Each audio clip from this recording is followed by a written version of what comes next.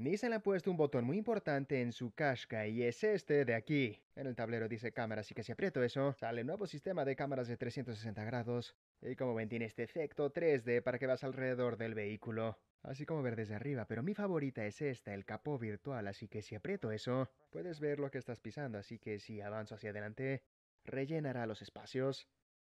Y pueden ver lo que va a pasar. Ah, es una bolsa. Ah, adiós.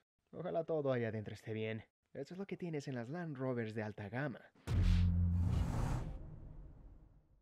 Empecemos este video hablando del diseño de la nueva Nissan Qashqai. Y digo nuevo, de hecho es una renovación, así que el mismo coche debajo de su piel. Pero Nissan le ha dado algunos cuantos cambios al diseño, especialmente enfrente, así que tienes esta nueva parrilla que es enorme. Vean el tamaño de esta gran parrilla texturizada. Y también tienes faros divididos, así que arriba está la de circulación diurna y abajo los faros principales. Aquí a los costados tienes nuevos diseños de rines, empiezan en 17 pulgadas, estas son las de 20. Y si me gusta la Qashqai de perfil se ve bastante deportiva para un SUV para familias. Este tiene el techo contrastante que le queda muy bien con esta pintura azul. Muy bien. Yendo hacia atrás, en el coche viejo tenías faros rojos, ahora son transparentes, prefiero estos. Y más abajo en el parachoques también rediseñaron eso. Así se ve mejor, porque antes tenía esos pedazos de plástico plateado, se veía raro. En general, creo que este SUV se ve bastante bien. Empieza desde las 30.000 libras, así que esta, con opciones, Cuesta justo arriba de 40.000. Aquí en el interior, Nissan ha rediseñado el tablero de la Qashqai y prefiero la forma en esta. Y le han puesto nuevos materiales, así que los de más alta gama vienen con esta hermosa alcantara. Se ve bien, incluso aquí abajo tiene en las puertas y para ser justo, más abajo sí tiene algunas partes que se sienten algo baratas. Aquí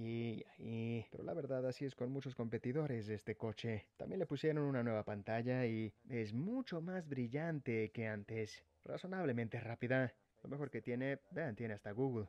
Así que tienes Google Play, Google Maps, Google, Google y más cosas. Y claro, si lo necesitas tienes Android Auto y Apple CarPlay, así que si quieren usar Apple mejor, sí lo pueden hacer. Una de las cosas que me alegra que no hayan cambiado, controles físicos para el sistema de ventilación. Sí, parece un estéreo de los 80s, pero es genial poder solo usar un dial y ajustar la temperatura tal como quieras. Lo que no parece haber cambiado es la pantalla del conductor. Eso está bien porque sí es algo clara y fácil de usar. Otra cosa que ha cambiado son los asientos, muy buenos, cómodos en cuanto a funcionalidad, así que vean aquí abajo tenemos algo de espacio y abajo de ahí también tenemos más espacio. Hay dos USB-Cs ahí. Tienes unos portavasos muy profundos ahí.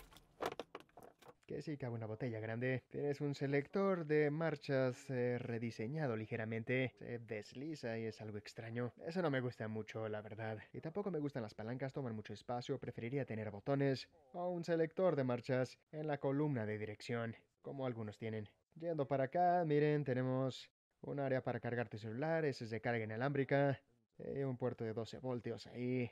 Ah, las puertas. El tamaño de los contenedores de puerta no está mal. Los contenedores de algunos competidores son más grandes, pero miren, cabe una botella grande, suficientemente grande. Pero revisemos. Tenemos un espejo de tamaño decente. Está bien. Adentro está bien, aunque sí siento que el Peugeot 3008 se ve más genial adentro. Y si quieren ver mi reseña a fondo de ese coche, denle clic a la esquina superior derecha o sigan el link abajo en la descripción para ir a ver ese video. Aquí atrás del Qashqai el espacio de rodillas es aceptable, aunque la gente con piernas más largas sí van a encontrar que sus rodillas tocan el respaldo. También el espacio de pies no es tan grande y no puedes estirarte para meter los pies abajo del asiento de adelante. Pero el problema más grande que tengo, ¿ven esto? Debería poner algún banco ahí, porque esta parte de mis piernas no están tocando el asiento, y significa que no es tan cómodo. Sí creo que la Kia Sportage es ligeramente más cómoda. Aquí atrás. Y si quieren ver mi reseña a fondo de ese coche, denle clic ahí arriba, o seguir el link abajo en la descripción. Y es una lástima, la verdad, porque espacio de cabeza está bien. O sea, este tiene un techo de cristal que sí se come algo de espacio de cabeza, pero hasta la gente de más de un 80 va a estar bien aquí en este coche. Y mientras que el piso sí tiene un bulto ahí, no es tan grande, así que de hecho puedes poner tus pies si estás en el asiento del medio. Y de hecho cuando se trata de llevar a tres personas a la vez, no está mal porque la carrocería es suficientemente ancha y hay suficiente espacio de cabeza. Así que la gente sí puede ponerse cómoda medio. Ahora cuando se trata de llevar a un bebé, es algo molesto tener que quitar las tapas de los Isofix, pero una vez que hayan hecho eso, no los quiero perder, así que lo voy a guardar ahí. Es fácil ponerle el asiento y como esas puertas abren muy amplio, hay mucho espacio. Está algo apretado si es que quieres rotar de esos asientos más grandes. pero hay suficiente espacio para que no hagas el asiento hacia adelante. Así que echemos un vistazo. Aquí tenemos un reposabrazos para los pasajeros que está bien. Hay dos portavasos, una pena que estén expuestos todo el tiempo. Aquí abajo tienes dos USB-Cs. Y en las puertas pongamos una botella grande para asegurarnos. Así que aquí vamos. ¿Caber ahí? ¿Estará bien? Sí. El baúl de la Nissan Qashqai es ligeramente más pequeña que sus competidores, pero no por un margen significativo y sigue siendo muy práctica y con una forma cuadrada muy útil. Y si bajo los asientos tienes un piso continuo para que deslices las cosas hasta adelante. Miren, tienes un puerto de 12 voltios aquí, tienes unos ganchos, algunos espacios aquí, unos puntos amarre, otro espacio por aquí. Y si quieres más espacio, obviamente quitas los divisores. Y puede que se pregunten qué es esto. Puede ser el paquete de baterías para este e-Power. O puede ser un sistema de bocinas. O algo del estéreo. No estoy muy seguro. Lo que sí sé es que conforme subes de gama, el baúl se hace más pequeño. Y puede ser eso. Pero bueno, eso me lleva cinco cosas molestas del Nissan Qashqai. Cuando vas manejando y de repente pasas algunos árboles, tienes los reflejos brillando por ahí, en esta parte de plástico brillosa. Así que de repente lo ves de reojo y te distrae. Ah, te va hartando. Hay un pequeño engaño con la suspensión trasera de este coche. Verán, si piden el modelo con tracción integral o uno con rines de 20 pulgadas, entonces viene suspensión trasera independiente. Es lo que tiene este y si ven por aquí abajo, esta rueda está conectada a ese brazo que está conectado al chasis y está conectado al chasis independientemente. Al de este lado, miren ahí está el brazo y está conectado al chasis. Todas las otras versiones, o sea con las ruedas más pequeñas, 19 pulgadas o menos, tienen una suspensión trasera con barra de torsión, en donde las ruedas están conectadas así que si una se mueve, afecta a la otra. Eso puede afectar el manejo y la calidad del viaje, así que cuidado con eso. Hay unos pequeños clips ahí para agarrar el cinturón, pero esos están ahí para que no se atore con el asiento cuando bajas los asientos, pero no parece funcionar muy bien. Genial. Acomodemos todo otra vez porque eso es lo que vas a tener que hacer. Así que lo pones ahí, ahí está bien. Ah, no. Ah, la guantera del Qashqai no es tan ancha como podría estarlo porque algo del espacio lo toma esta caja de fusibles. Muchos fabricantes tienen la caja de fusibles del otro lado, así que pueden tener una guantera de tamaño completo, pero aquí no. La ubicación del espejo retrovisor, la forma en que está montado un poco más abajo, en vez de estar montado a esta parte del techo que se come algo de espacio de la ventana y mucho, genera un enorme punto ciego ahí en el centro. Estoy viendo así, después volteo para allá y tu visibilidad está restringida a esta partecita de aquí. Es muy molesto y me recuerda a mi Toyota GR Yaris que tiene el mismo problema. Me vuelve loco. Pero no todo es negativo, aquí están 5 cosas buenas de este coche. Puedes pedir el Qashqai con un muy interesante sistema híbrido. Se llama e-Power. Y lo que tienes ahí es un motor de gasolina turbocargado de 1.5 litros que, de hecho, nunca impulsa las llantas delanteras. En vez de eso, funciona como un generador y provee de electricidad que le da un motor eléctrico. Y también acumula potencia para cargar un paquetito de batería de iones de litio, para que siempre esté cargado.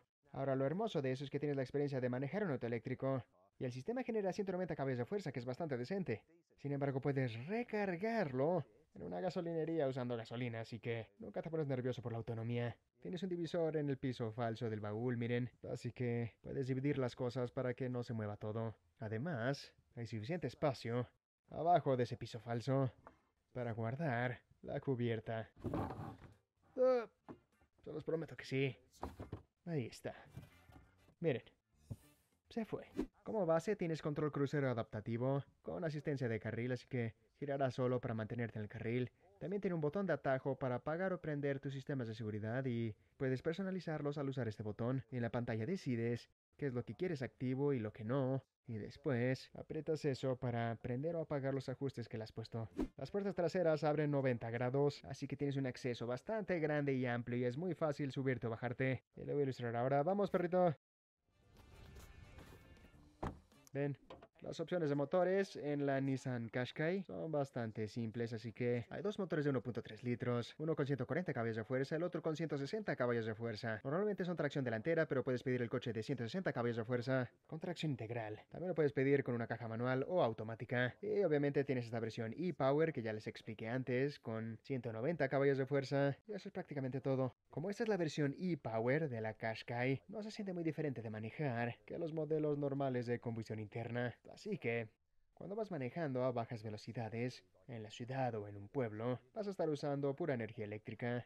Así que silencioso. Pero si le pisas, El motor se va a accionar, pero es muy muy fluido, no es ruidoso o intrusivo. Y puedo poner el coche en modo ED, que lo va a dejar en energía eléctrica por más tiempo, así que de verdad tengo que pisar más fuerte el acelerador hasta el piso para que se accione el motor de gasolina. Así que voy a regresar a modo ED y también voy a ir a modo E-Pedal que me da la máxima regeneración de frenado.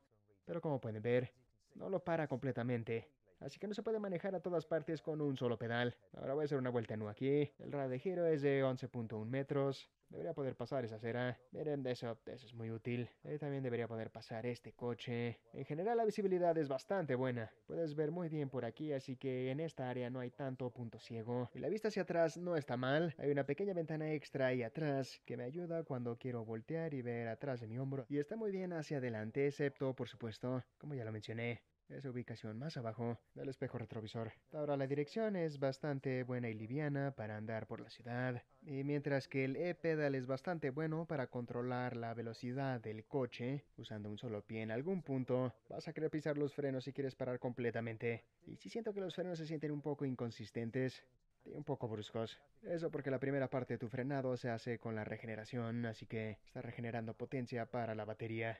Así que no es tan suave como en un coche normal que no hace eso. En cuanto a la suspensión, me parece razonablemente cómodo sobre baches. Tal vez en las superficies más irregulares se mueve un poco, pero en general esto es muy cómodo. Y una de las verdaderas ventajas del e-Power es que tienes una respuesta inmediata cuando quieres acelerar de repente. Así que, por ejemplo, si llego a un alto total, ahí está el frenado inconsistente. Entonces la hago así.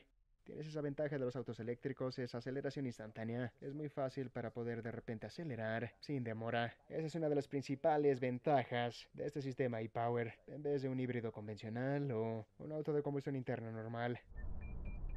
Un buen ejemplo de los sistemas de seguridad ahí. Pensó que me acercaba mucho al coche de adelante y que iba a chocar, así que me estaba advirtiendo. Si no hubiera hecho nada, automáticamente frenaría. Bien, veamos la aceleración de este sistema e-Power. Así que voy como a 60 km por hora y le voy a pisar. En 3, 2, 1, ya así que acelera de inmediato y se nota. Cuando ese motor de gasolina se acciona, tienes un impulso extra de potencia para que le puedas dar más carga a ese motor eléctrico, pero se siente muy rápido y alcanza rápidamente velocidad. Te responde bien. Es un buen sistema este, sí me gusta. Es como el beneficio de ambos mundos. Tienes esa aceleración de un auto eléctrico, pero nada de esas tonterías de ponerse nervioso con la autonomía. Otro beneficio de este es que debería ser bastante económico, así que Nissan afirma 18 km por litro. La realidad en este coche en particular es 16 km por litro, que de hecho está bastante bien. En cuanto a ir a una velocidad constante, más rápido, sí es un coche muy relajante para viajar. No mucho ruido de la calle, que es genial. Algo de ruido de viento por aquí, pero no está mal. Oh, y otra vez, eso fue el freno automático ahí. Creo que esa sí la tenía bien controlada, pero estuvo algo paranoico, pero... Más vale prevenir que lamentar. Y lo que voy a hacer ahora es ponerlo en modo Sport, que hará la aceleración un poco más precisa. Sí, está bien. Parece mantenerse razonablemente bien, pero esta va a ser una prueba. Ok, puedes sentir cómo se quiere abrir un poco. Si tomas una vuelta algo rápido. Bien, ahí está. Ese es uno de los problemas. Cuando empiezas a ir un poco más rápido, las llantas empiezan a perder agarre y se empieza a abrir. Y lo hace a velocidades ligeramente más lentas, comparado a algo como una Toyota CHR. Esa definitivamente es más divertida de manejar. Pero aún así, en general, este es un auto muy decente de manejar. Y las llantas están chillando otra vez ahí. Si no le gusta que lo estén apurando, Nissan dice que esta versión del Qashqai debería poder hacer el 0 a 100 en 7.9 segundos, pero le tomaré el tiempo yo mismo usando mi cronómetro especial. Estoy pisando el freno y suelto. Y se va. Potencia completa. 7.51. Yo diría trabajo bien hecho. Probado el punto. O punto probado. Sí, seguro es punto probado. Entonces, ¿cuál es mi veredicto final del nuevo Nissan Qashqai? ¿Deberías evitarla, considerarla, agregarla a tu lista o deberías ir enseguida a comprarla? Bueno, yo creo que deberían agregar la Nissan Qashqai a su lista. Es un SUV para familias bastante decente y tiene una muy buena relación precio-calidad, pero es un poco más cara. Pero bueno, espero que les haya gustado el video. Si lo hicieron, denle un like. Si quieren ver más videos, denle click a las ventanas. Y si quieren suscribir a este canal, solo denle click a logo Carwow. Gracias por vernos.